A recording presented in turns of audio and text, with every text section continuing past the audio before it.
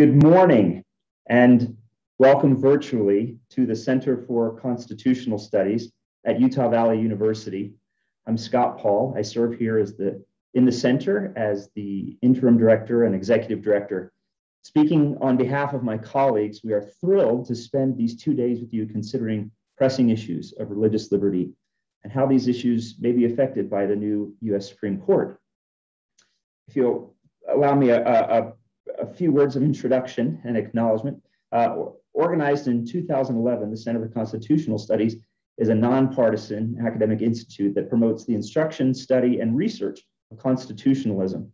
Our mission is to increase constitutional literacy in our state and national communities in a nonpartisan manner. We pursue this mission in a multidisciplinary fashion to more effectively equip a new generation of citizens and leaders with the broad understanding that, criti- that is critical to the perpetuation of constitutional government, ordered liberty, and the rule of law. I hope you're able to enjoy our first session earlier th- this morning. If you missed it, uh, check back at the end of the, uh, check back next week uh, at uvu.edu slash ccs slash events or on this YouTube channel for recordings of the sessions of this conference. My colleagues and I have been looking forward to this session for a long time. This session was to be the focal point of our 2020 First Amendment Conference because 2020 was the 30 year anniversary of the decision in the US Supreme Court case Employment Division of Oregon v. Smith. However, uh, the conference scheduled for late March 2020 never happened. This is especially uh, an especially poignant moment for us because the organizer of the 2020 version of this session was our late director, Dr. Rodney Smith. Rod was a champion of the rights of conscience. He often declared that he spent his career trying to understand the meaning of 16 words Congress shall make no law respecting an establishment of religion or prohibiting the free exercise thereof. We sometimes comfort ourselves here in the center with the notion that Rod can finally end his scholarly quest by putting his questions directly to James Madison. Oh, how we'd love to be there for that conversation, and how we miss our beloved leader and dear friend. We are especially mindful of him as we honor him with this session. Now, it is my pleasure to introduce to you the moderator of the session. Kim Colby is director of the Christian Legal Society's Center for Law and Religion, Religious Freedom. She was co-counsel in two cases heard by the United States Supreme Court. In both cases, she represented religious students seeking access to either a public high school campus or a public law school campus. She has been co counsel on dozens of friend of the court briefs filed in the Supreme Court, as well as in uh, lower federal and, and state courts. She testified about religious freedom three times before a subcommittee of the United States House of Representatives Judiciary Committee as well as once before the United States Commission on Civil Rights. She received her BA in history, summa cum laude, from the University of Illinois Champaign-Urbana and her JD from Harvard Law School. Kim, thank you for joining us today. It's really my pleasure, Scott. And just it is a pleasure to be here, and it's also just wonderful to be a small part of honoring the legacy of Rodney Smith. He really was a voice that advanced religious freedom for so many years. Um, I also have the honor of moderating an outstanding panel on a critical case for all Americans' religious freedom, Employment Division versus Smith. As the title of the panel indicates, Smith was decided 31 years ago, uh, April 17, 1990, and it's being revisited by the United States Supreme Court even now in a case called Fulton versus City of Philadelphia that we'll hear more about later. We should learn the court's decision in the Fulton case by late June of this summer and find out whether the court has decided to overrule Smith, uh, greatly narrow it, or whether Smith, Smith will remain the law of the land. We all have moments that stand out in our memories, and I distinctly remember where I was in my house uh, when I got a call on April 17th, 1990, from a friend and colleague. Uh, he's now Professor Mike Paulsen at St. Thomas University School of Law, but we worked together at CLS at the time. And Mike called And he was he was a little bit in a panic. He said, Kim, the court has just issued a horrible decision for religious freedom. It's a disaster. Well, I tried to reassure him by saying, hey, we knew we were probably going to lose that case that involved drugs. It's really not a big deal. But then he said, no, they've overturned the test for free exercise claims. Any law now trumps religious freedom. And he was right. Or was he? That's what we'll be discussing on this panel as we go forward. So we have three panelists, and I'm going to introduce them all now so we can just go from one to the other as we proceed. Our first panelist is Professor Bill Marshall. Professor, Professor Marshall is the William R. Kenan Jr. Distinguished Professor of Law at the University of North Carolina School of Law in beautiful Chapel Hill, North Carolina. After graduating from the University of Pennsylvania and receiving his law degree at the University of Chicago, Bill's pursued a career that has taken him in and out of state and federal government and academia. He was deputy counsel to the president and special assistant to the president during the Clinton administration. And he served as Solicitor General for Ohio, as well as teaching at various leading law schools. He writes extensively not only on religious freedom, but also a myriad of constitutional issues and he was one of the first out with a law review article defending the Smith decision many years ago. After Bill, we'll hear from Alexander Dushku, a Salt Lake City lawyer who practices in the firm of Kirton McConkie, where he is a member of the firm's First Amendment and Religious Organizations section, as well as the litigation and appellate sections. Alexander graduated summa cum laude from Brigham Young University and then from BYU's J. Reuben Clark Law School, magna cum laude. He clerked for Judge Manion on the Seventh Circuit Court of Appeals. I've had the honor of working with Alexander fairly frequently on religious freedom matters, particularly amicus briefs in the United States Supreme Court. He is without a doubt one of the finest attorneys I've had the privilege to work with, and I've told people on more than one occasion that if I were ever being deposed, and found out that Alexander was the attorney who would be questioning me, I would settle the case on the spot. He's, he's pretty fearsome when he starts asking questions. Our third panelist is Adele Keim, who's been legal counsel with Becket Law for the past nine years. While at Becket, Adele has defended the rights of rock bands, Native American sacred dancers, organizations supporting Cuban orphanages, and those pesky nuns, the little sisters of the poor, who keep going up to the Supreme Court and winning, thanks in part to Adele's legal skills. Adele received an AB in politics, magna cum laude from Princeton University, and her law degree with honors from Notre Dame Law School. She clerked for Judge Clement on the Fifth Circuit and then was an associate in appellate practice at Winston and Strawn in DC before she joined Becket, where she has done truly wonderful work on behalf of religious freedom. So before uh, Professor Marshall begins with his remarks, I was asked to uh, briefly describe, just give the background, the facts, and, and sort of a little bit of the context for the Smith case. Employment Division versus Smith is truly a landmark decision. It, it governs how courts and government officials apply the Free Exercise Clause of the First Amendment. Now, the Free Exercise Clause and the Establishment Clauses of the First Amendment, they're part of the Bill of Rights of our Constitution. They're very short, 16 words, and I'm reading them now. Congress shall make no law respecting an establishment of religion or prohibiting the free exercise thereof. But what do those words mean? And how are judges to actually apply specific free exercise cases. Over the years, the Supreme Court has used different tests for deciding whether government officials, whether at the federal, state, or local levels, have violated the free exercise rights of a religious person, a religious organization, or a religious congregation.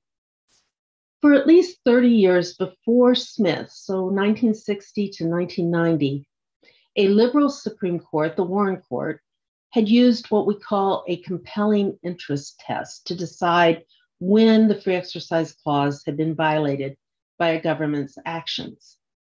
That test basically asks whether a religious person has sincerely held religious beliefs that have been burdened in some way by the government.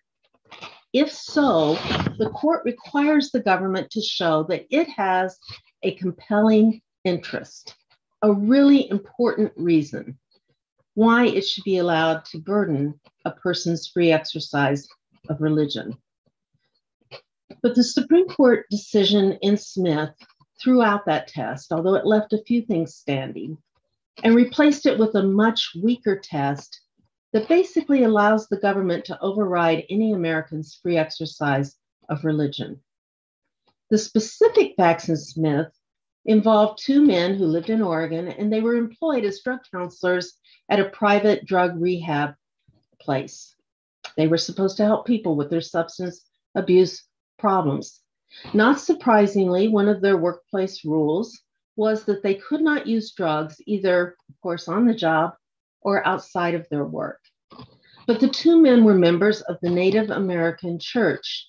And one of the sacraments for that church is for its adherents to ingest peyote during its services to experience what they consider to be a spiritual experience through its um, hallucinatory pro- properties. Peyote at the time was an illegal drug in Oregon, and it, even when it was used for religious purposes, and that was kind of an important fact in the Smith case. Well, when the employers found out that the two men had used the drugs off, off their job as part of their religious uh, commitments, they were fired. So they applied for unemployment benefits from the state, the Oregon Employment Division, and they were denied because the state said, well, you were fired uh, for good cause. You, you were misconduct. You had disobeyed your workplace rule regarding the use of drugs. Interestingly, uh, between 1960 and 1990, the Supreme Court had decided three cases involving people who had been fired from their jobs because they had put their religious beliefs and conduct above a workplace rule. So, someone who hadn't shown up for work because it was her Sabbath, uh, someone who refused to help make tanks because of his pacifist beliefs. And in all three cases, the court had said that the free exercise clause would be violated by denying these people their unemployment benefits. But in Smith, the court ruled the opposite. It ruled that the government could deny them unemployment benefits because peyote was an illegal drug. Now, that ruling by itself would not be that shocking because it was the 1990s. The drug, the war on drugs was was you know prevalent, and that would generally have been seen as a compelling interest.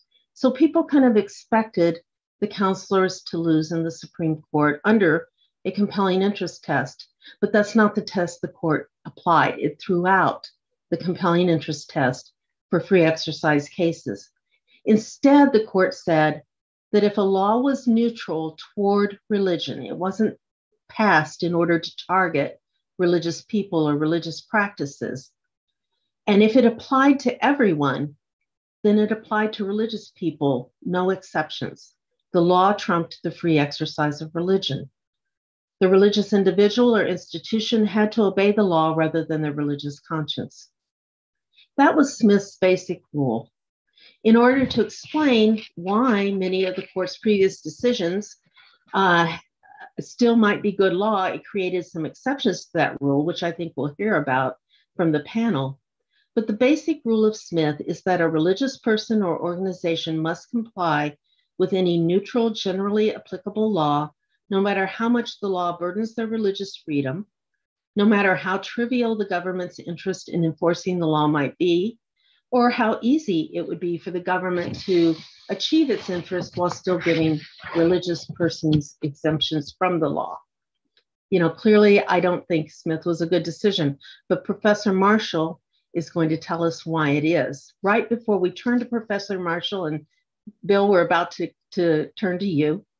Um, I just need to make an announcement that the presentations will be followed by a question and answer session we invite our viewers to submit questions via the comment section on this YouTube channel or by emailing them to constitution at uvu.edu. That's constitution at uvu.edu. So I'm going to turn it over to Bill. And then, Alexander, if you just want to come in after Bill and Adele after Alexander, uh, that's what we'll do. Thanks very much. Bill? Thank you so much, Kim. Um, thanks to Scott Paul for all the work you did in putting this together and Carrie Dennis.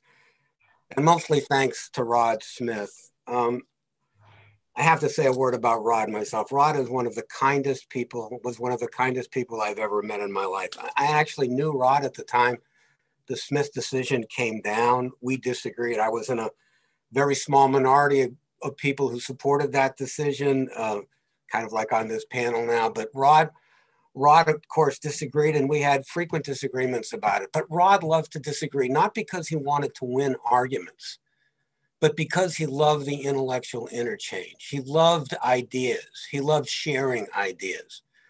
Uh, and and those of us who got to know Rod for all those years uh, could see the excitement come into his eyes when there was a discussion take place. And and I know he would be incredibly excited if if he were here today. Uh, Rod, we miss you. I miss you.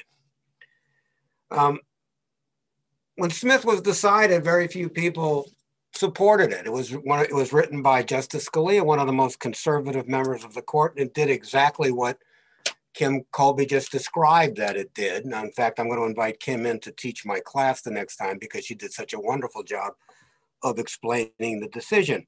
It overturned a case called Sherbert versus Verner from 1963, which said, as Kim pointed out, that you needed a compelling state interest in order to justify a restriction on the free exercise. Sherbert itself uh, overturned a decision 100 years earlier called Reynolds versus the United States, which suggested that a neutral law of general applicability, the, the test that, that Justice Scalia adopted, uh, was okay, and there was not a right to have a religious exemption from a neutral law. Now, why did Justice Scalia take this position? In his own words, and he's citing Reynolds on this, he said to hold otherwise would be to make every person a law unto himself. That is, that if you allowed religious beliefs to trump laws, then anybody could come along and make any claim and excuse themselves from a particular law. And that he found to be alien to what the Constitution would require. Now, how might that work? What did it mean to say that that allowing free exercise exemptions would create uh, would allow people to create laws unto themselves? Well, let's suppose you want to bring a free exercise claim. Let's let's suppose you have a claim, for example, that voter IDs are unconstitutional. They require that you have to have a photograph in order to be able to vote, and you claim that's true because you don't like graven images as some religions might believe. Now, how would a case be litigated? Well, there would be a number of threshold questions that would be asked of the religious believer. One, are you actually presenting a religion? I mean, is this actually a religious claim that you are that you are offering here? And a court would have to decide what is a religion and what isn't a religion. That's a very uncomfortable decision, to say the least, as to determine what is a legitimate religion and what is not. A second threshold inquiry is you'd have to ask is that religious belief, if there is one, burdened?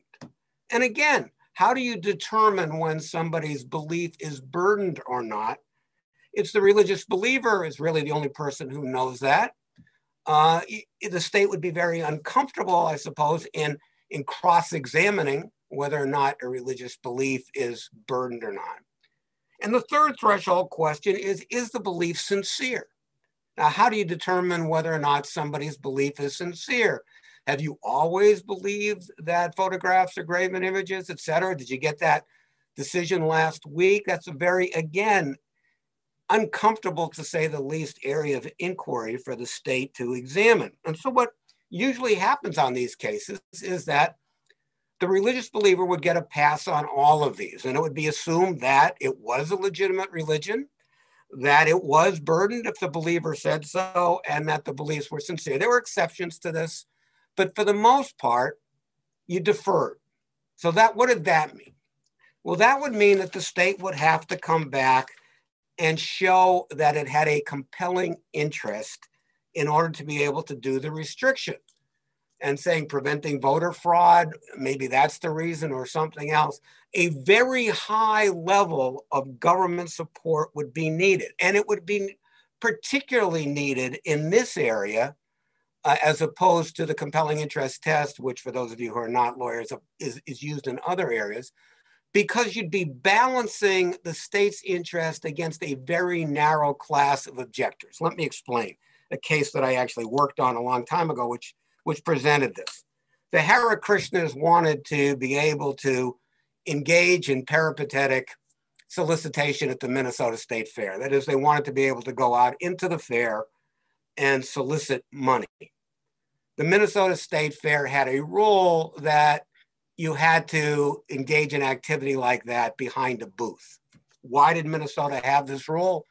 It was responding to two virulent cults the Democratic Party and the Republican Party, who for years had canvassed and sent out folks in the middle of the Minnesota State Fair causing congestion problems and all kinds of things. And what and what Minnesota wanted to do by this booth rule was try to make the fair more orderly. And if you've ever been to the Minnesota State Fair, it's very, very big business. Okay. If the, the, if a compelling state interest test was applied uh, across the board, there would be a pretty good compelling interest as to why you needed a booth space because so many groups would want to go out engage in this form of solicitation. You'd have chaos in the Minnesota State Fair and the state would likely win. But if you made just a free exercise claim, the state would have to show that its interest was compelling with respect to only the small group of people who asserted that they had a religious interest in going out into the middle of, of the fair. So they'd have to have an even higher reason to be able to do it. The result of this, and that's what part I think Justice Scalia was concerned about, is that if you took this compelling state interest test seriously, every law would be presumptively unconstitutional. Every law. And why is it every law? Because religious beliefs can mean anything. You can have religious beliefs that an environmental regulation violates some sort of religious precept, that a labor law regulation violates a particular precept. Virtually every law would be subject to this compelling interest test, would be presumptively unconstitutional if the Sherbert test was taken seriously. Well, the Sherbert test never was taken seriously. The free exercise claimants won in only two kinds of cases. One was the unemployment compensation cases that Sherbert was an example of, in which somebody claimed that that uh, they would be denying unemployment compensation because they were not available to work because of their religious beliefs. And the court came back and said, no, you got to uh, you got to provide unemployment compensation. And a second case dealing with the Amish being excused from compulsory education requirements in Wisconsin. In virtually every other challenge, the free exercise claimant lost, leading everybody across the board, no matter where they were on this issue, to believe that the Sherbert test wasn't really being applied in the way that it should have been had it been seriously had it been seriously imposed. Um, so that was kind of the background uh, behind Sherbert. Now, as, as, as Kim pointed out, Sherbert itself came from a liberal court. What was causing the liberals to support this kind of compelling interest claim? And I think the answer on that is what they were concerned with was minority religions. In, in the Sherbert case itself, the claimant wanted unemployment compensation. She was told she couldn't get it because she wasn't available to work on Saturday. And the reason why she wasn't able to work on Saturday was because she was a Seventh day Adventist. Uh, and probably, and, and what the liberals were concerned about was not that the state of South Carolina, which was the state involved in that case, not that it was going after Seventh day Adventists, but probably they hadn't thought about it when they created a law that you had to be available work on Saturday. And this was a way to accommodate minority religious beliefs that might be inconsistent with a general law. I think that's what that was the sort of motivation by Justice Brennan, who was one of the most liberal justices in the history of the Supreme Court, and why he authored that decision. But two cases decided during the Sherbert period, I think, undermined its ability to proceed. It's not just the court was applying the test inconsistently, but I think two cases really undermined Sherbert's viability. One was a case called Tony and Susan Alamo Foundation, in which the free exercise claimants in that case said they had a free exercise right not to pay their employees minimum wage that that interfered with their religious beliefs and the court rejected that claim now is there a compelling interest underlying minimum wage laws sure there is in the sense that if one group is allowed to to pay their employees less they're going to get a competitive advantage and so you need to set the law at the same level so you don't have a race to the bottom. But would there be a compelling interest with respect to just a small group of people upon whom who are claiming religious exemption? Maybe less so because it's unlikely that wages would be depressed just because the Tony and Susan Alamo Foundation were able to pay their employees less. Well, the court, without taking the free exercise claim all that seriously, rejected the claim and upheld the Fair Labor Standards Act as applying to the Tony and Susan Alamo Foundation. The second case was actually a case in which the free exercise claimant won, a case called Thomas versus Review Board. And in that case, it was an unemployment insurance compensation case. An employee of a foundry said that he could not work there anymore. He was not available for work because he was being transferred from one part of the factory to the other part of the factory, and the other part of the factory made armaments, gun turrets. And he said he was a Jehovah's Witness, and he said, um, My beliefs prevent me from working on armaments. The state introduced some evidence indicating that it wasn't a particular tenet of the Jehovah's Witnesses that you couldn't work in an armaments factory. They actually had another Jehovah Witness testify on that. Um, but the court was unpersuaded by that and said, and I think rightly, that it doesn't make a difference what your formal religion's tenets are, it's what you believe. And if he believed this, he believed this. But there was a serious question of whether this was a religious belief or not, or just an objection to war. And I want you to think uh, yourself for a minute. You probably all, hopefully, think stealing is, is wrong. Do you think stealing is wrong because of a religious motivation or because you just think it's wrong morally? If you read the record in the Thomas case, it's unclear whether the petitioner himself really founded his belief on a religious basis or on a moral basis. He said it was religious, the court deferred to that. But it also, at the same time, said, you know, if Thomas's objection was philosophical, he wouldn't be entitled to an exemption from this law.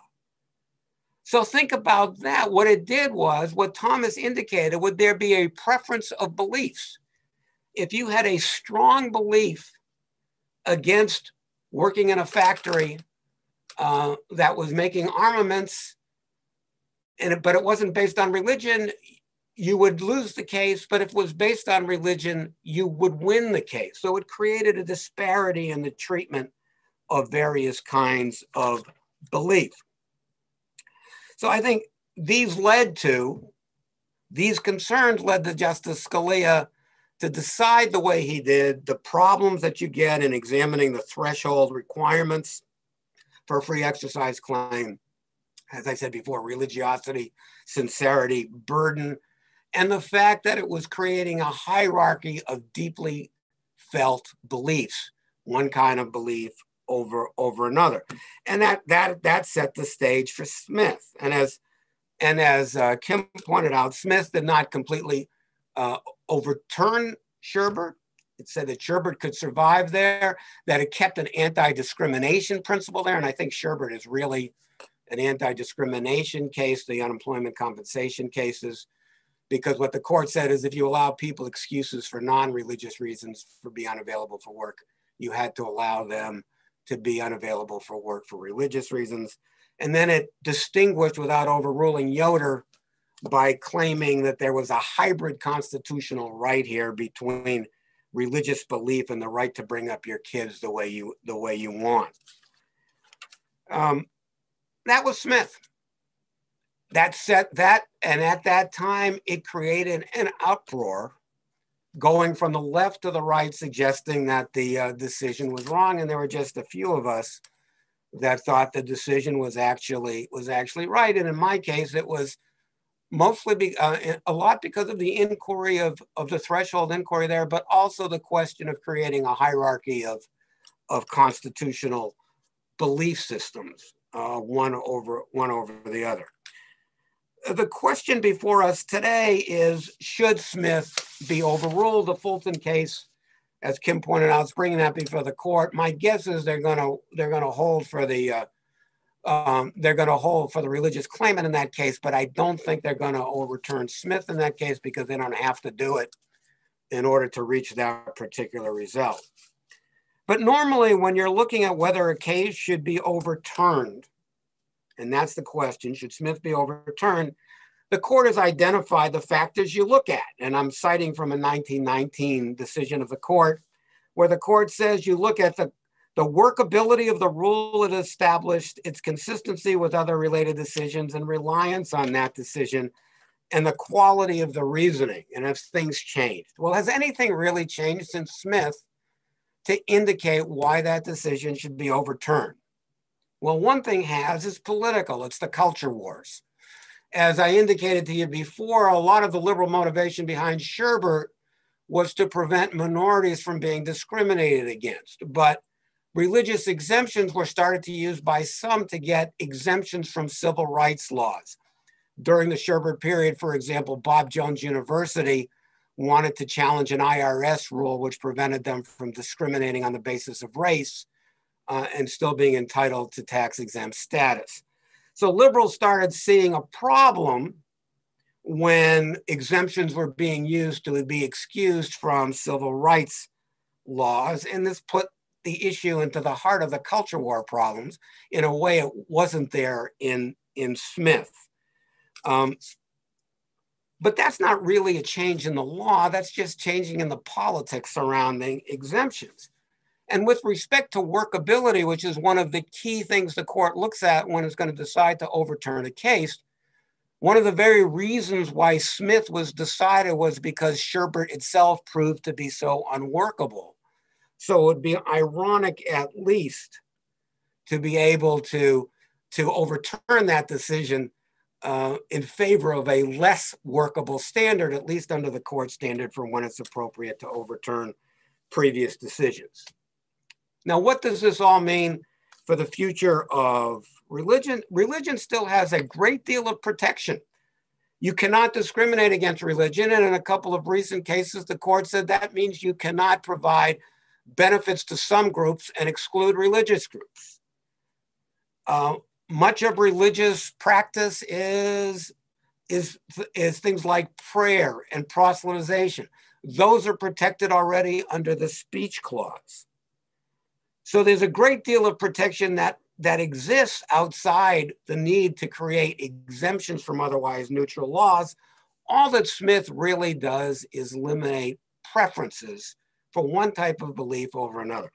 And let me let me end with, uh, with going back to Rod Smith for a minute, because when we had all these discussions, Rod was actually persuaded, at least in part, by the notion that it would be inappropriate to prefer religious beliefs over deeply deeply held moral beliefs. So what he would have done was broaden who gets the exemption to going beyond just religious believers to others who had deeply held moral objection, and he would have had some authority there in the, the conscientious objector cases of the 1960s.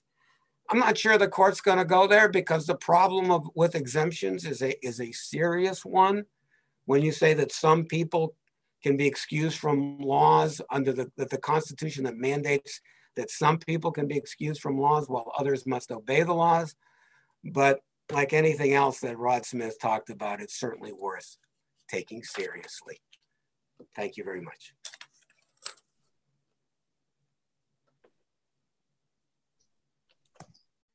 Well, thank you, Professor, Professor Marshall. It's good to see you again. Professor Marshall and I uh, met uh, well, back in probably about 1992, and he was one of the, the early and vigorous defenders of the Smith decision at a time when very few were defending it. And uh, I think it's fair to say that a lot of academic defenders um, of Smith have come around to uh, his point of view. It's great to be on this panel with, uh, with Kim uh, and Adele, and I look forward to the colloquy following um, our, our individual presentations. I'm not a legal scholar, although I sometimes try to pretend to be. Uh, I'm, I'm an attorney. I represent religious organizations and people of faith as I try to carve out some legal space to practice their religion in an increasingly secular world that is increasingly hostile to their beliefs and their institutions.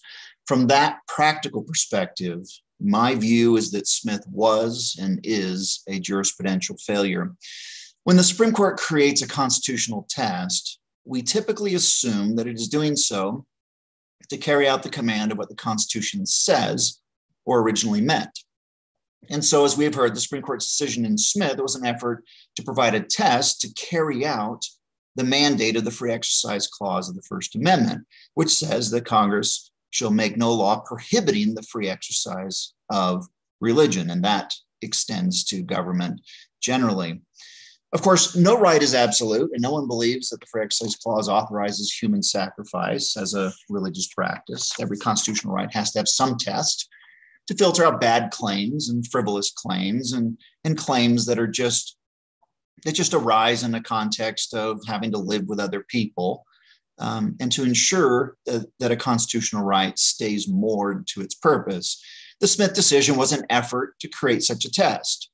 The problem is that the test does a really poor job of protecting the free exercise of religion. That, after all, was its purpose. We can talk about all the other challenges that protecting the free exercise of religion might create, but that was the purpose of the Smith test, or that's at least should have been its purpose. In fact, in many ways, the test was no test at all. In practical application, how it's actually applied on the ground, Smith means that claims of free exercise almost always lose. Exercise claims and defenses are typically summarily dismissed even in cases of real religious hardship, not because religious exercise isn't being prohibited by government, but because the test is so lenient and so easily evaded that government almost automatically wins. Indeed, the defenders of Smith think that this is a good thing, or at least a necessary thing. I do not. I believe that Smith was flawed in its conception and has been flawed in its application. And here are a few reasons why. Now, it was noted that, that Justice Scalia was the author of the Smith decision, and that, of course, is true. Um, Justice Scalia was not anti um, you know, religion, he was a fierce Catholic.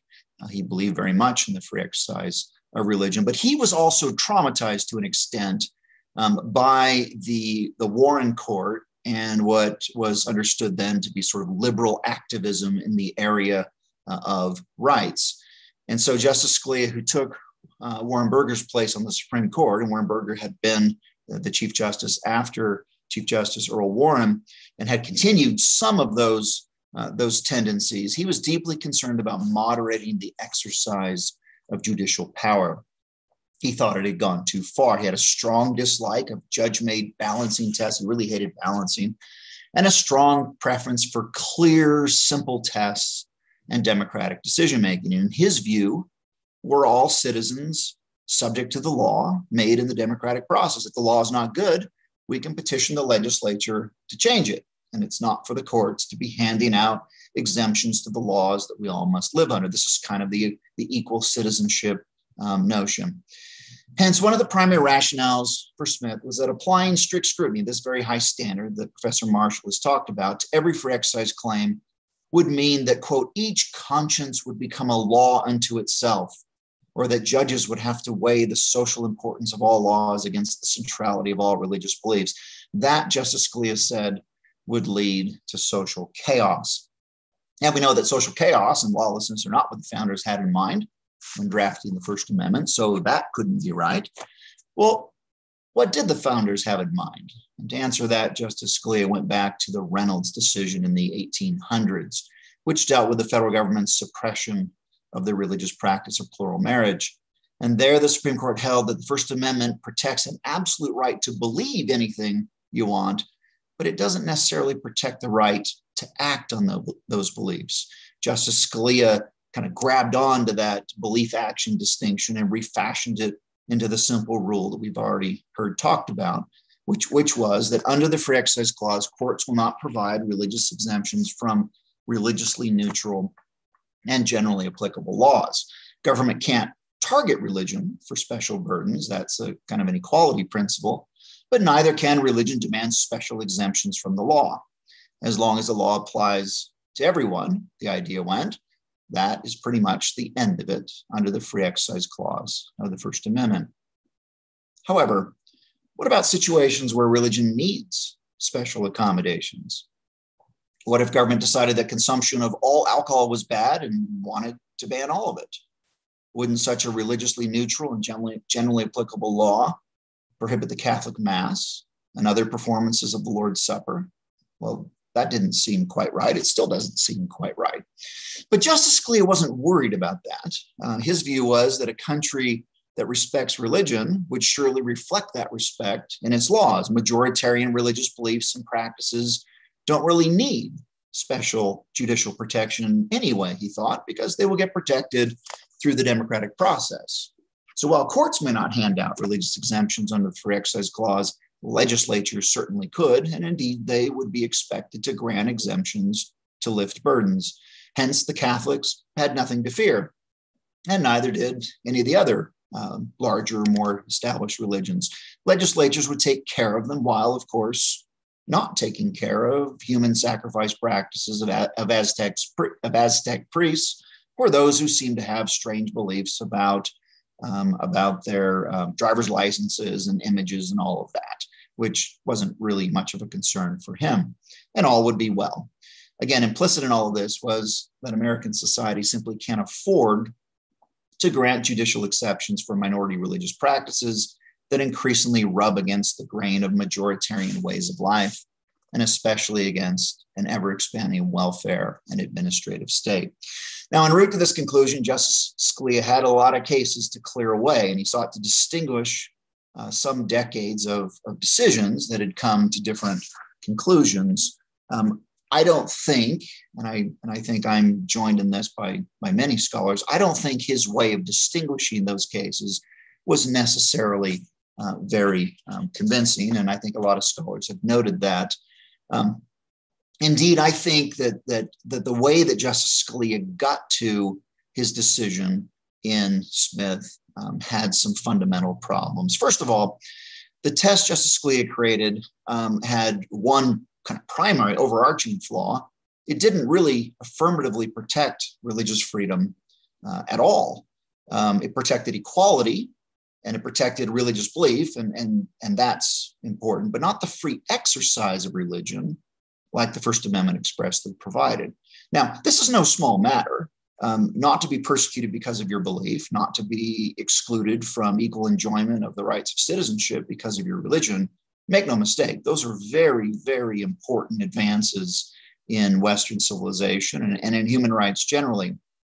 But they don't quite capture the notion of being protected in the free exercise of religion. So, again, what if government said that no one could kneel in their houses? Now, that would be religiously neutral and generally applicable, but it would also prevent people from kneeling in prayer. Well, that can't be right, just like the earlier example of banning the Catholic Mass by essentially banning um, the consumption of all alcohol, even if you weren't targeting the Catholic Mass. That just doesn't seem right. What if the law banned all buildings with pointy architectural features on roofs? Could the building of churches with steeples really be banned in the United States of America? That didn't seem right either. What if a general law imposed a huge burden on religious exercise, but there was no good reason at all for the law or the burden? I mean, government just just hadn't even considered something. Uh, why should government get away with burdening religion, even if it really doesn't need to? We don't treat many other rights that way. We don't treat privacy rights that way. We don't treat abortion rights that way. So that was problematic. The test didn't really accomplish um, what a a test really needs to accomplish when it's in the area of a constitutional right, which is to, to uphold the right in some kind of a vigorous and, and practical way. Instead, what began to happen was the right, the free exercise of religion, that right began to be reconceived as nothing more than an equality right or a right not to be targeted based on your religion. Second, Justice Scalia's social chaos um, idea seemed to make sense. Allowing everyone to disobey the law based on their religion would surely cause chaos and havoc, right? I mean, we, we get these kinds of examples about driver's licenses and, and speed limits and so forth that, that would seem to indicate that we can't have everybody um, having their religion dictate, you know, minimum wage laws and all of those kinds of things. Except that having a strong legal test protecting religion hadn't done anything of the sort in the prior decades.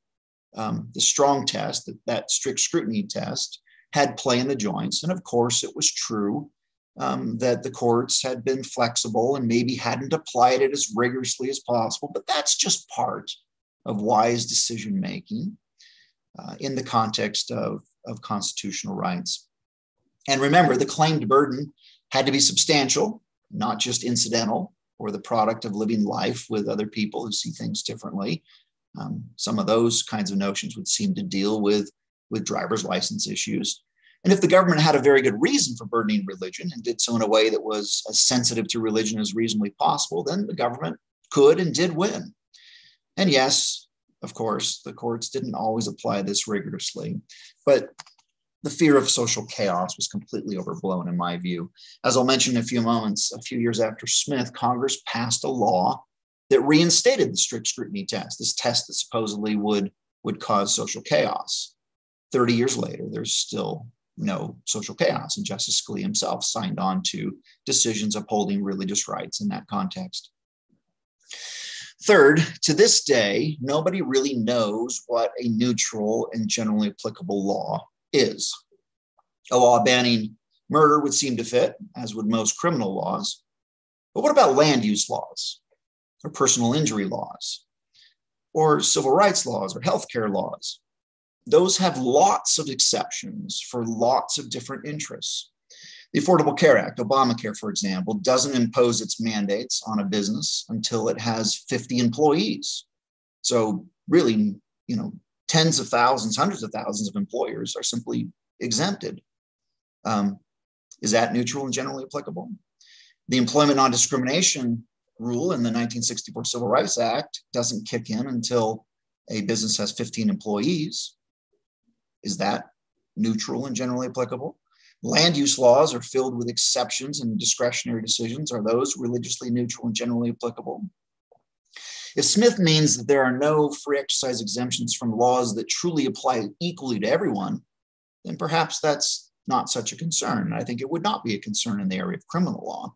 But there are very few of those laws in the civil law context, and Smith defenders um, uh, rarely find that um, only such laws fail uh, under its under the Smith rule. In short, Smith couldn't account for the actual words of the First Amendment it was based on fears of chaos that were really overblown. It failed to account for past precedent. And instead of making things more coherent, it actually raised many que- as many questions as it solved. I believe that Smith was flawed from the outset as a matter of doctrine and law.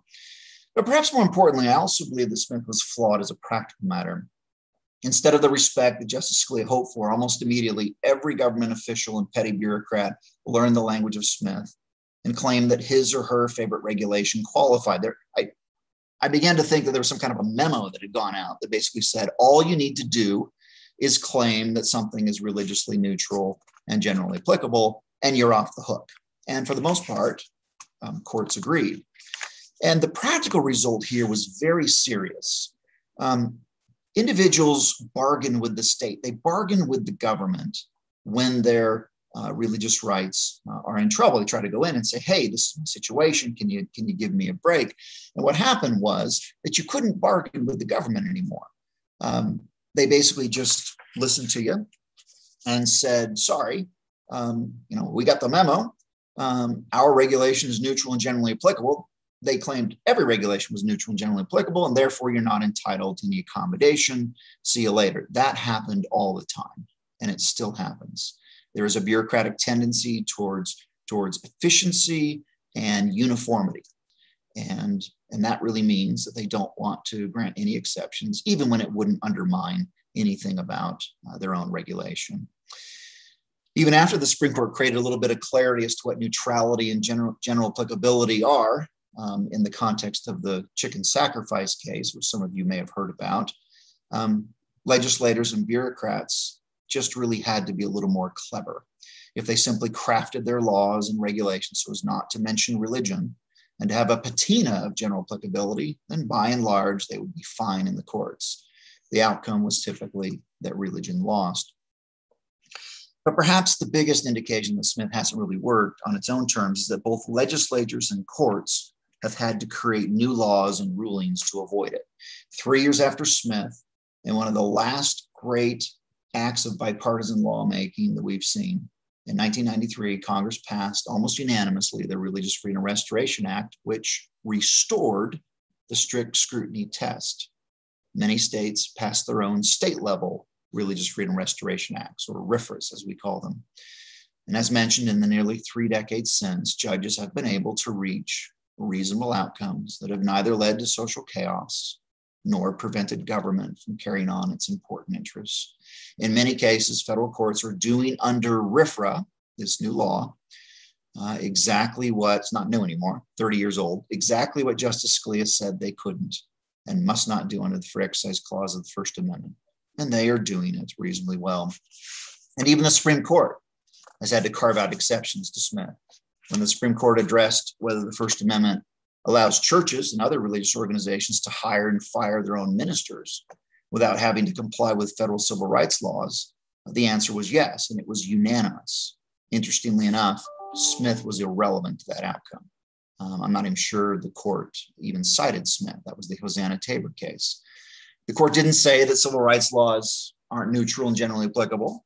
Instead, drawing from many pre Smith decisions, it essentially just ignored Smith in recognizing a ministerial exception to the civil rights laws. That is telling. It's very telling.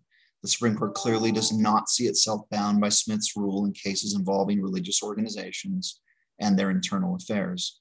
And not surprisingly, several justices of the Supreme Court have already called for Smith to be re examined. And right now, in the Fulton case, which is before the Supreme Court, which involves application of LGBT anti discrimination norms to Catholic social services in the context of foster care, the court has to decide whether Smith allows the city of Philadelphia to bar Catholic participation unless the Catholic social services abandons its religious standards. Adele may talk about that a little bit more. It might decide that case narrowly, as, as uh, Professor Marshall suggests, holding that nasty anti Catholic comments by local officials violate Smith. Or it might decide that the time to re examine Smith has begun. I hope that the court does re examine Smith. The free exercise clause of the First Amendment cannot be a source of social chaos or preclude government from performing its basic functions, of course. No one denies that.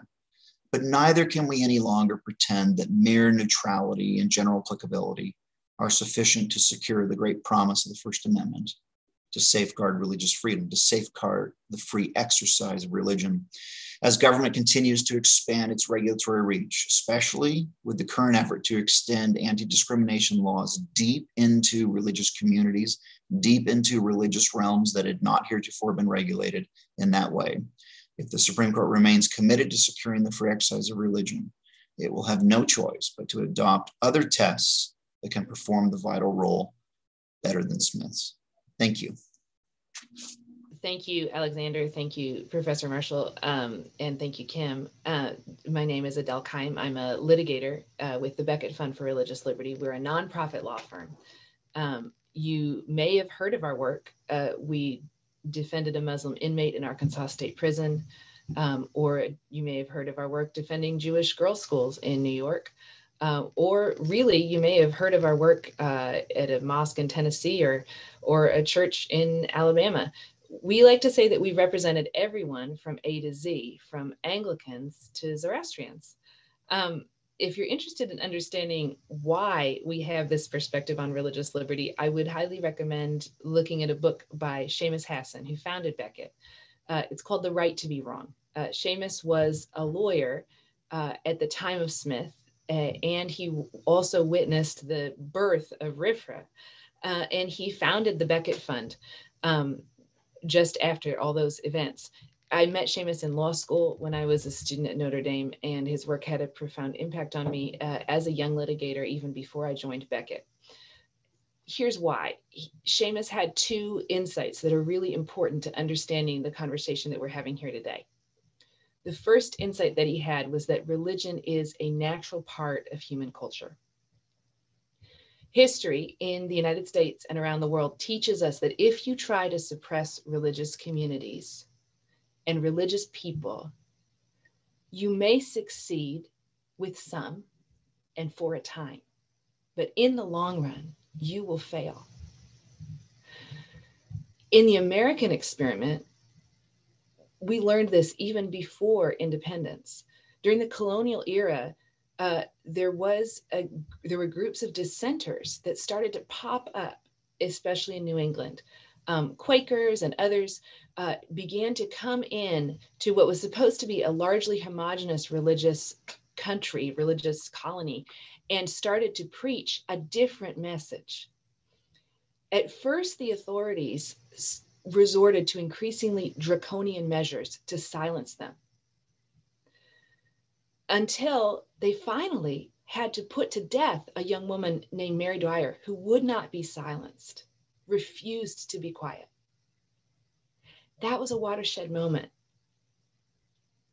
After that point, what was really a tragedy, I think we can all agree, the colonial societies, the governments, and the, the people in them said, you know what?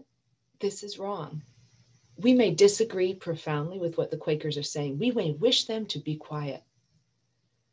But instead of trying to silence them, the better and wiser course is to allow space for them to dissent.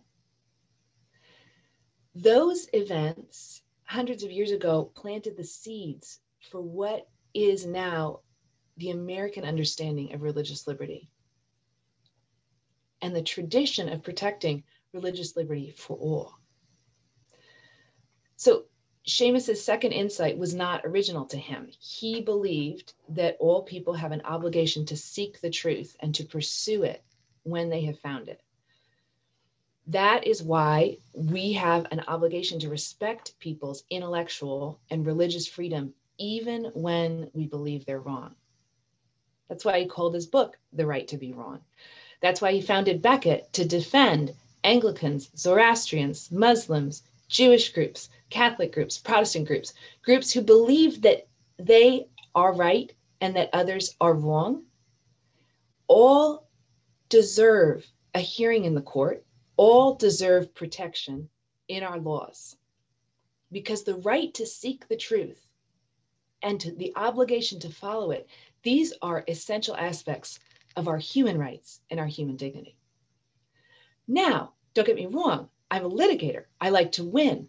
These good principles of defending human dignity and human rights for all also have good consequences for everyone.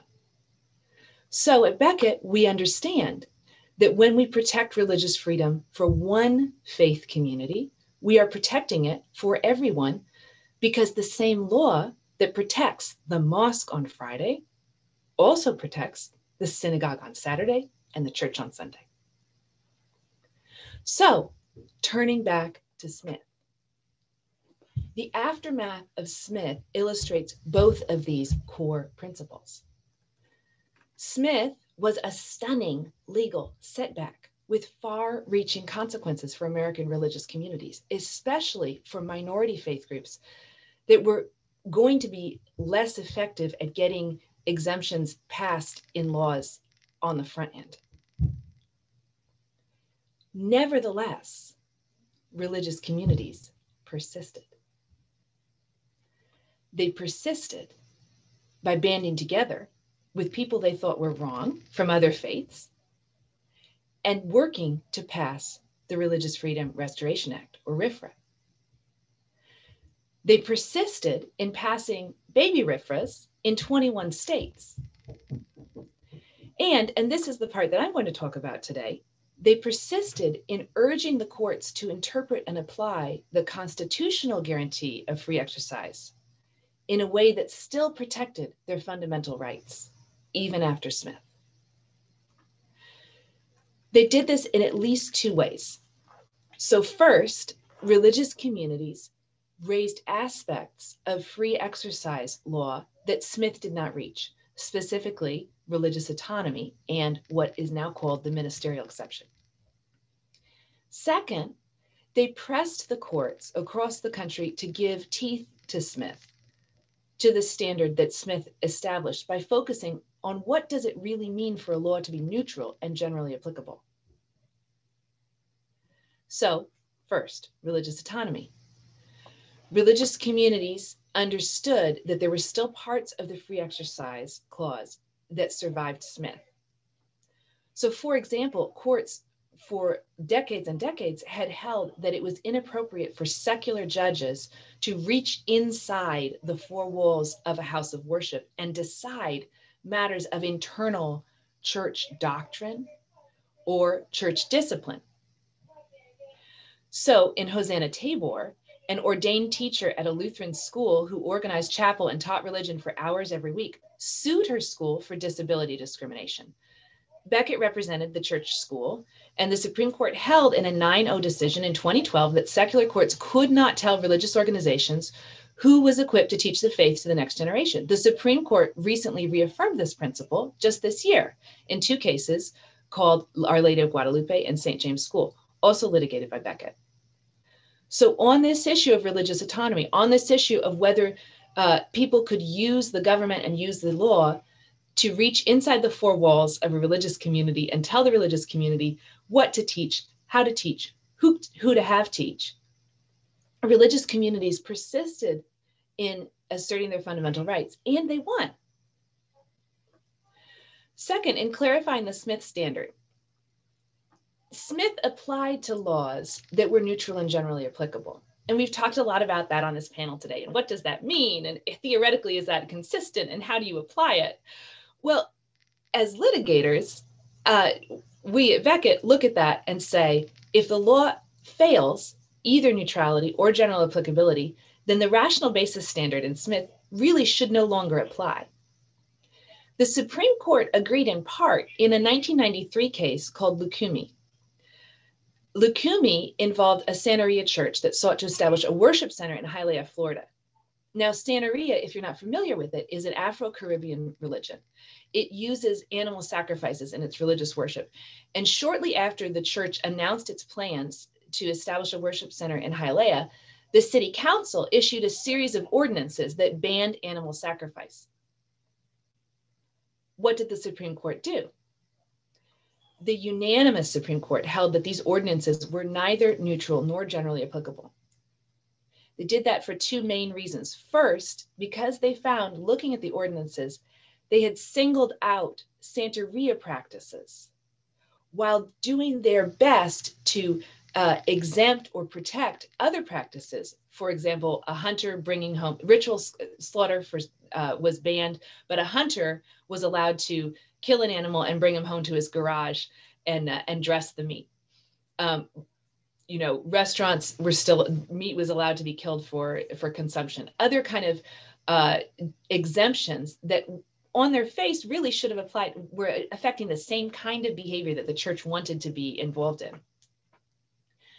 And also, there was a pretty good record in Lukumi that the, the city council really didn't want Santeria practitioners in their town. In other words, not only did they exempt a lot of comparable secular behavior, but they also made it very clear that these laws were specifically targeted at Santeria practitioners. So they won unanimously at the Supreme Court.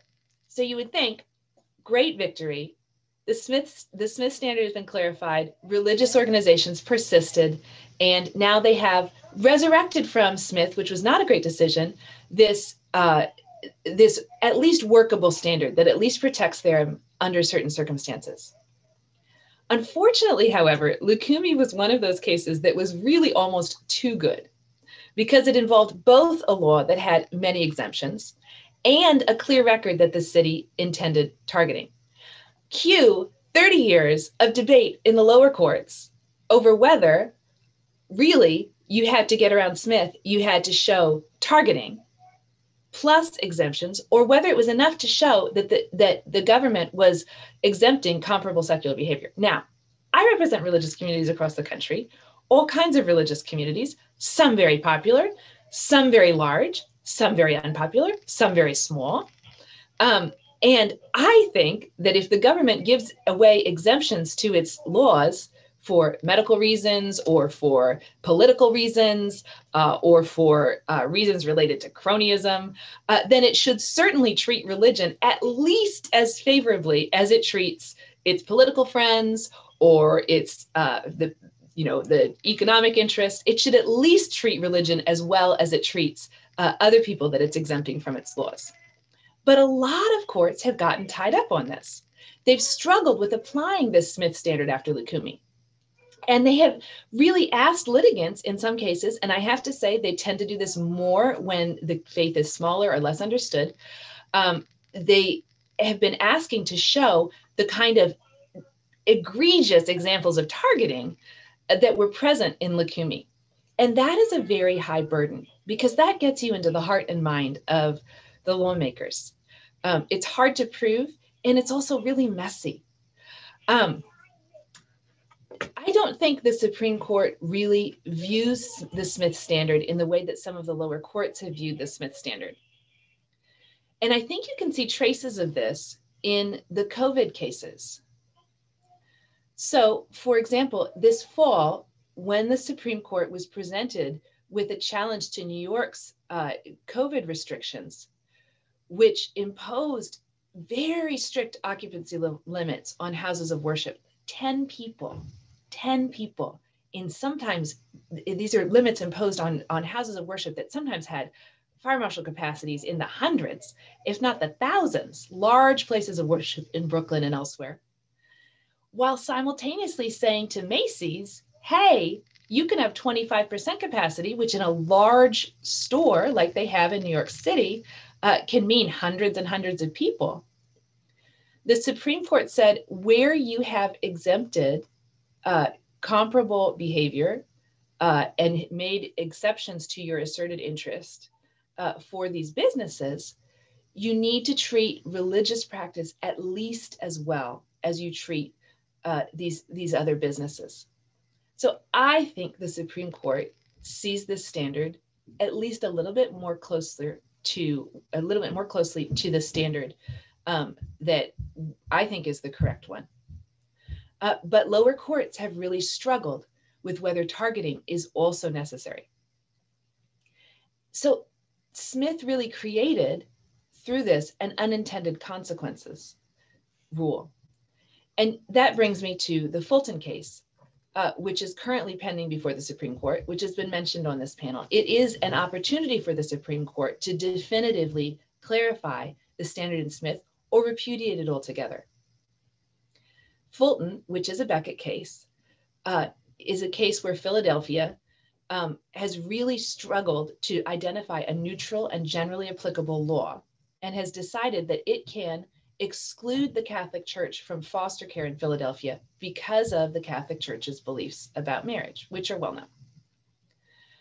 Now, I can't imagine that Justice Scalia and the rest of the Supreme Court that decided Smith would have imagined that it would lead to a result like that. But the lower courts have said again and again they think these policies are neutral and generally applicable, and that Sharonell Fulton, a foster mom that we represent, and Catholic Social Services will lose under Smith like I said, Fulton could be the end of the road for Smith. We have urged the Supreme Court to reverse it, or it could be this definitive clarification of what neutral and generally applicable means.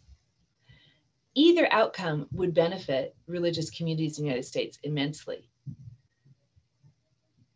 But the bottom line is whether Fulton is a win or a loss, the basic fundamental truth that you need to understand about religious communities in the United States is that they will continue to do what they have always done when facing government pressure to abandon their beliefs. and that's that they will persist. Thank you. Thank you so much to everyone who um, just shared with us. That was wonderful. It's it's just a great way to spend an afternoon listening to experts on religious freedom talk about it. And um, Bill, um, would you like three minutes to respond? I know three minutes isn't much for all that's been said, but do you think you? What makes you think that I would disagree with anything that's been said so far? First of all, let me let me compliment both Adele and Alexander for uh, really terrific presentations. And Alexander, with you particularly, uh, it's just making me feel badly that I did such a bad job of persuading you 30 years ago. uh, it's obviously, obviously living with. Um, What's interesting though about what what Adele and Alexander have really said is that religious freedom has done really well since Smith. Um, as Alexander points out, you're exactly right there. Uh, when when people have found the application of Smith too harsh, there have been legislative exemptions that have been passed. As Adele pointed out, um, there are doctrinal ways that uh, Smith doesn't apply, including on important issues, very important issues of of religious autonomy, um, the equal treatment indicate uh, policy that she identified that you cannot treat religion worse than other uh, comparable groups seems to make uh, that's been an effective avenue for making sure that religion hasn't been singled out. So they're absolutely right that Smith, despite all what was said about it, really hasn't done that much to uh, to really interfere with basic religious freedom. And again, if you just point in the speech clause, the speech clause protects prayer, proselytization, and all that. The question that I'm left at the end of it, though, is to go back to the question of equal treatment in the other way. If re, uh, in the COVID cases, may be an example. If if religious groups are entitled to to gather and, and exceed a 10 person limit, well, shouldn't groups who get together to say to protest racism or to protest gun violence or to protest anything, shouldn't they be able to gather as well? The problem with the free exercise exemption is that it exempts only religious believers and creates a favoritism of them over groups or individuals presenting equally deeply felt, strong moral or philosophical commitment. And I go, I go back a little bit to that Thomas case. Uh, I'm sure Thomas didn't really know if his objection to working in an armaments factory was based on a deeply held philosophical belief or moral belief, or if it was based on a religious belief. Yet, if you characterize it one way, you get him uh, being granted an exemption. And if you characterize it the other way, he doesn't. And why should the First Amendment, which also protects freedom of speech and secular conscience, pre- prefer one type of conscience over another. And that was one of the major problems, I think, with narrowing, uh, only allowing religious believers to get that exemption. With respect to, uh, we didn't talk too much about originalism, but I think everybody would think that, uh, must agree that it's fairly ambiguous as to whether the framers wanted to allow exemptions or not. They originally had a proposed exemption in the Second Amendment for conscientious objection to war, but they eliminated that, indicating that maybe they didn't see a right to religious exemptions in the Constitution. Two very conservative scholars, Michael McConnell and Philip Hamburger, have come to the diametrically opposed uh, answers as to whether that was involved or not. So I thought they'd throw that in as well. But really, really the issue, and again, I go back to Rod Smith, the one that moved him the most was this question of in a world in which all of our beliefs are so broad, uh, from one end of the secular spectrum to the very religious on the other end, is it really appropriate to distinguish between one kind of one kind of system of beliefs as opposed to another? But you know, Adele and Alexander, great job. Thanks. Okay. Can I respond to a couple of those things? Yes, you may, very quickly. Very, very quickly. Okay. Um, people have done, religious people have done pretty well um, since Smith and religious organizations. I, I think that's true. Um, but it is true despite Smith, not because of Smith.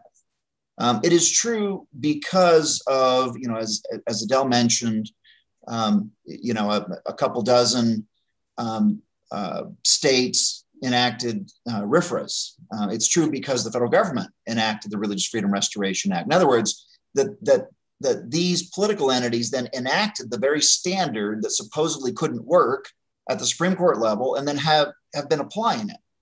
Um, it's, it, it hasn't had such a bad impact because, because of cases like the ones that Adele has talked about, which have shown that, that, that the Smith standard is inadequate. So there's an entire realm of cases, um, the religious autonomy cases that Adele mentioned. You know, what do you do with religious faith communities and, and their own internal uh, workings? And, and, and is the Smith decision really applicable in that context? And for the most part, the Supreme Court is coming down and saying, you know, it really isn't or really shouldn't be. And so Smith is, is, is little by little being picked apart um, you know, in a variety of ways. And, and yes, in the end, it hasn't been uh, as bad as it could be. Um, one of the things that, that Professor Marshall mentions is, that is, is essentially that the problem with free exercise exemptions is that they favor um, free exercise. Well, that is the very point of the religion clauses. Uh, it's not the only point, but it's one of the it's one of the core points. We do elevate certain rights um, more, you know, they are more elevated than than other rights and, and other interests. That being said, most of the free speech expressive rights really do cover, um, you know, many of the other circumstances that that would be a concern. But I don't think, you know, this is not a bug of the Constitution. It's actually a feature that it favors religious exercise. That that is an affirmative um, favoritism for a certain kind of right that history and tradition and I believe morality as well, um, have demonstrated is very important to protect so that we can have peace in our country and the basic elements of freedom in our country. So I don't think that's a bug. I think that's a feature of, uh, of the First Amendment, and it's one that I'm, I'm grateful to defend. Okay, that sounds good. And I, this is a little bit of a follow up to that, um, but I'm going to take it. Sorry, guys, I'm supposed to give you questions. But this one asks something that I wanted to be sure uh, the audience understood, and I wasn't sure it came across in our presentations. So, the question from someone in the audience is if state and national legislation has somewhat invalidated Smith, we've talked about RFRA and the state RFRAs, what more would the Supreme Court's overturning of Smith do? And I'll answer that and then see if you all have some other answers. But I wanted to be clear. So, um, as we've said, in 1993, in response to, Riff, uh, to Smith, the Religious Freedom Restoration Act was passed at the federal level. Um, as we call it RFRA for shorthand.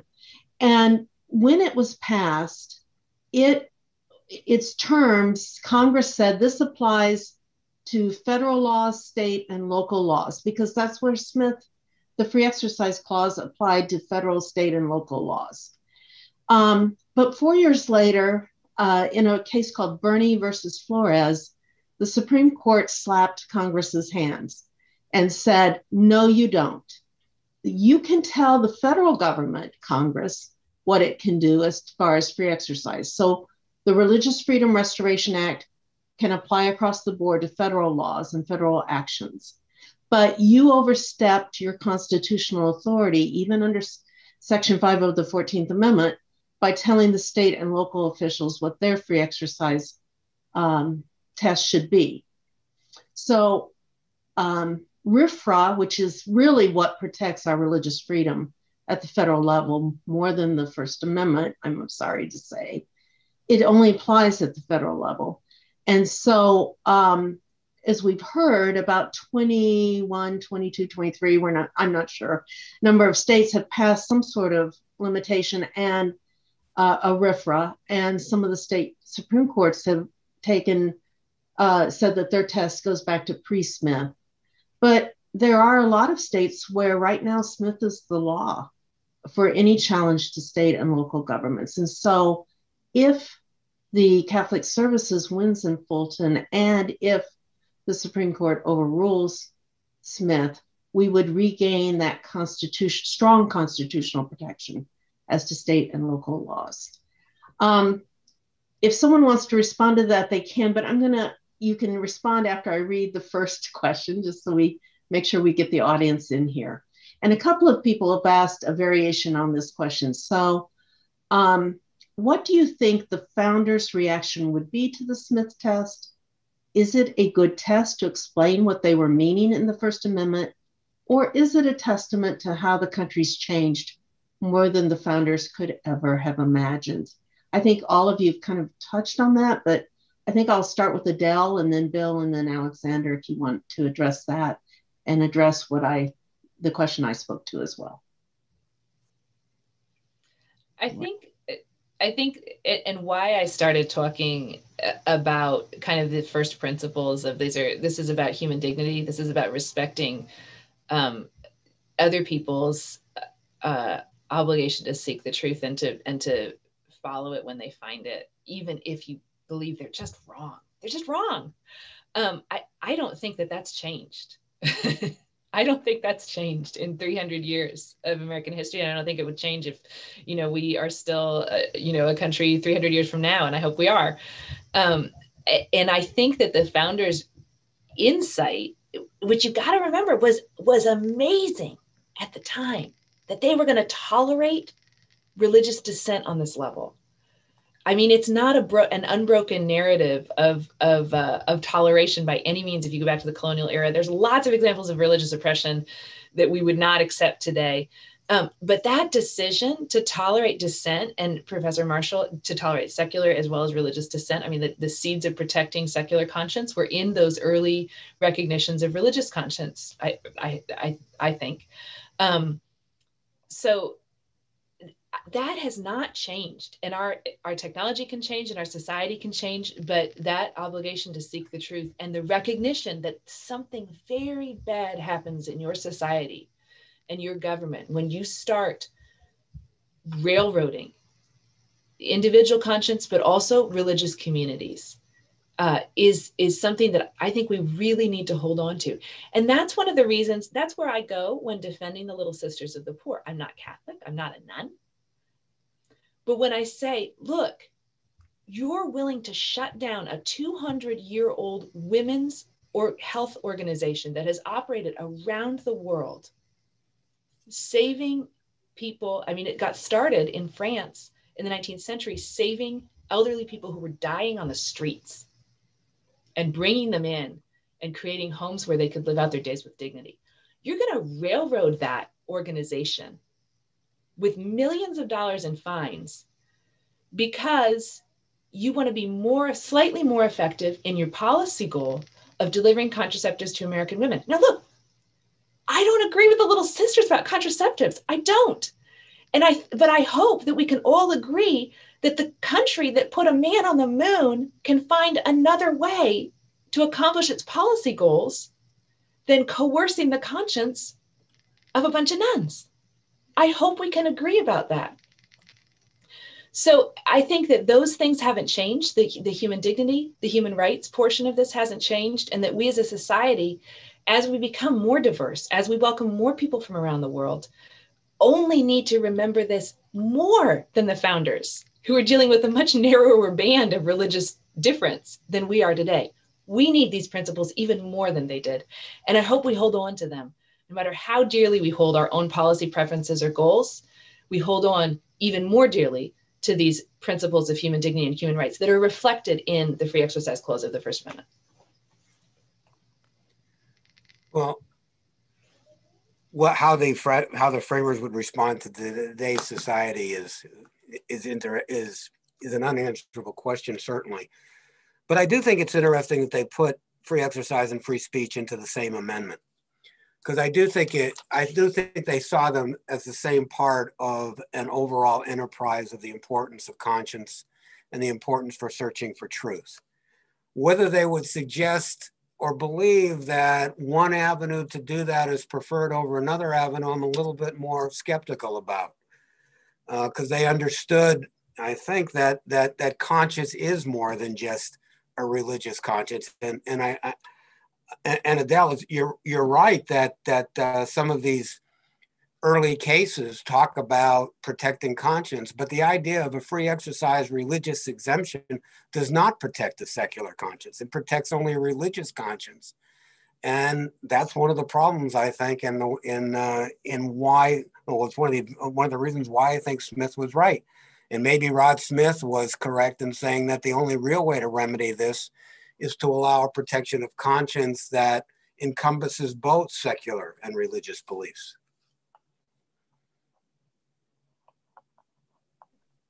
That's something I'm certainly happy to support.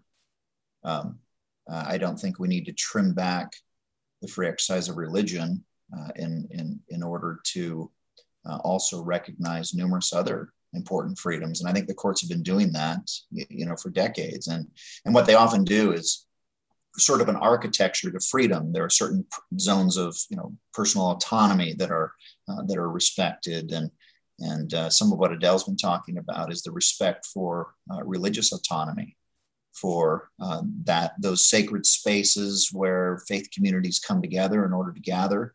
I think the founding fathers would have viewed those spaces as extremely important to society. I think they would have viewed them as um, uh, as essential to ensuring that an overarching state, an overarching government did not unduly, um, you know, invade uh, the province of conscience and of community and of family. And so I think they would have perhaps viewed, um, uh, you know, if they really thought about it, might have viewed Smith um, as being perhaps a little bit simplistic um, especially as applied to faith communities. And that, that was kind of the hot topic at the time, you know, establishments of religion, churches. And are they going to be able to govern themselves? And I think that at least is one area where they where they would likely support quite strong um, protections. The law, for the most part, didn't reach those kinds of faith communities. At least uh, there was a, an understanding that it shouldn't uh, after some really bad experiences of trying to regulate uh, churches but a tough question. The founders, I mean, it, it wasn't even clear they thought this whole thing would would survive, much less turn into this enormous empire that we now know as the United States of America. So I think they, on one level, they'd be really thrilled that this thing is still going. Okay. Um, I don't know when Scott is going to uh, say that we're done, but um, I'm going to ask a question, and that is, um, I think there is some strong sense that we have a very, uh, probably the most pro religious freedom Supreme Court in since the 1940s now. Um, but at the same time, we have a culture that has um, uh, seems to be much less sympathetic to uh, religious freedom. Uh, do you want to push back on either of, the, of those claims? And uh, what do we do to regain a culture in favor of religious freedom if you agree that we've we have a culture drifting away. So, um, Alexander, I'll, well, Alexander, what I'll start with you, and each of you will go. Alexander, uh, Bill, Adele. Yeah, it, it is a paradox. Uh, very um, pro-religious freedom Supreme Court uh, and a culture that is moving in the other direction. One of the challenges of of the Smith decision is that it's, you know, even in the aftermath of Smith, religious exercise has done quite well. Um, but one of the reasons why it has done quite well is because legislatures were quite friendly to religion and they recognized the problem. That era in many, many states, and probably even at the federal government level, is pretty much over. And so we do need a Supreme Court that is willing to step in, needs to step in carefully. And, uh, you know, obviously we can't have rules that overturn um, you know, good management of government and, and the basic norms of society. Um, but we do need a court that is willing to, um, to protect, uh, especially faith communities, places of gathering, um, you know, for the faithful. And, uh, and I think people need to come to understand something that Adele has repeatedly spoken about, and that is religious freedom is a matter of human dignity. And we, uh, we use the term human dignity quite a bit in talking about various areas of the law. We need to use it in this area, I think, more often.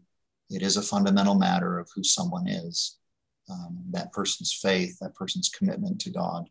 And we need to respect that, even as we are respecting other areas uh, that we've come to understand are deeply, deeply vital um, to people's human dignity.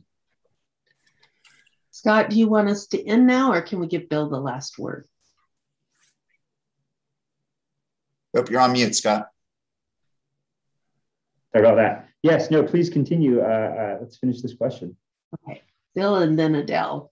Yeah, I'm, I'm not sure I, I, I certainly agree with your premise that in some way the uh, new justices seem to be more concerned about religious freedom. Um, but in terms of the culture, I'm not sure we're any religious. We are less tied to a particular majoritarian religion than we used to be.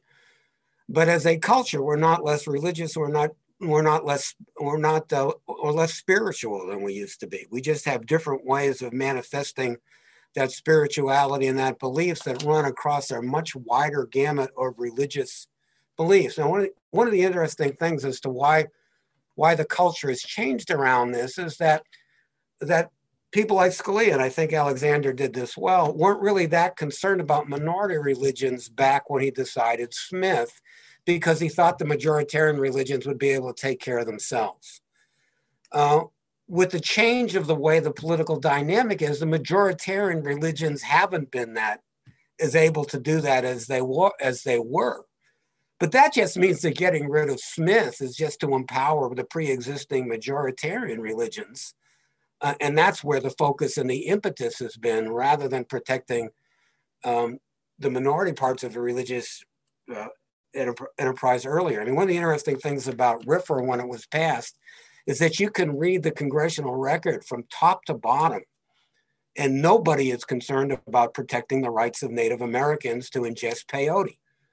Uh, the concern for that kind of, of religious exercise wasn't there. It was much more of a concern for majoritarian religious exercise. So I'm not sure I buy the second part of the second part of your uh, of your question as much as I might buy the first. I will be quoting you to the people who support the Do No Harm Act now, um, and who claim that RFRA was only for minority religions, not majority. But thanks, Bill, for your answer. Um, Adele, you want to finish this out, and then Scott, I'll let you take it. Uh, Sure. Just a, uh, one of the wonderful, beautiful uh, consequences of RFRA, um, which I, I just, Bill, I, I hesitate to correct you because you lived it and I didn't. Um, but, uh, you know, having read some of the hearing transcripts myself and hearing stories of Hmong migrants and the, you know, autopsies that they were seeking to avoid and that RFRA protected them in that, uh, knowing myself, having researched the, the peyote exemptions, um, uh, that they were enshrined in federal regulations since the 80s. So that may have been one of the reasons that that wasn't top of mind at the federal level, um, because they had federal protection for for uh, for at least a decade at that point, and they still do today. Um, but just you know, just to reframe a little bit, um, you know, Luke Goodrich, my colleague Luke Goodrich.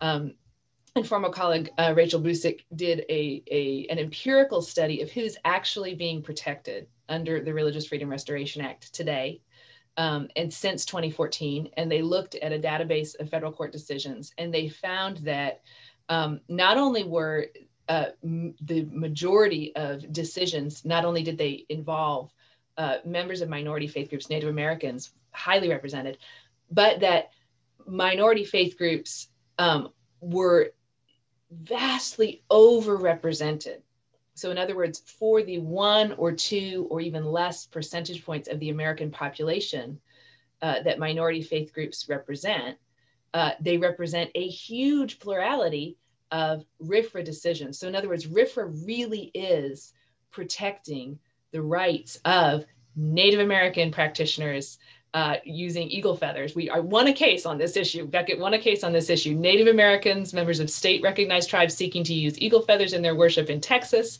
Uh, Becket won a case at the Supreme Court for a Muslim inmate in Arkansas State Prison where he was definitely in the minority. Um, you know, so the the uh, the mosques that we have assisted and and helped with in Tennessee and New Jersey and Illinois and elsewhere, definitely in the minority. RFRA and the RFRA standard, whether in RFRA or, or RLUIPA, um, have been a, an enormous uh, source of, of, you almost want to say blessing because we're talking about so many religious people, but an enormous source of freedom for religious adherents. And Bill, I know your heart um, is for secular as well as religious conscience. And I just think that is as we protect secular religious conscience because of the free exercise clause focusing itself in the text of the Constitution on religion, we create space in society for dissent and for conscientious objection across the board.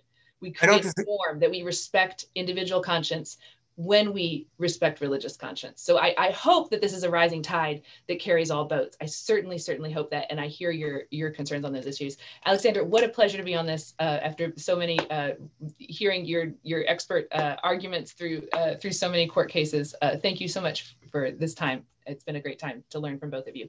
Kim, can I have 20 seconds? Only the only only to say that that uh, no, you're right. Uh, certainly, Adele, you're right in terms of the way RFRA's worked out. What I was saying was that the political motivation uh, came much more from majoritarian religions now because majoritarian religions no longer have, uh, no longer feel that Justice Scalia's legislative way of fixing things would work, re relating back to what Alexander is. But the record you're talking about is absolutely correct.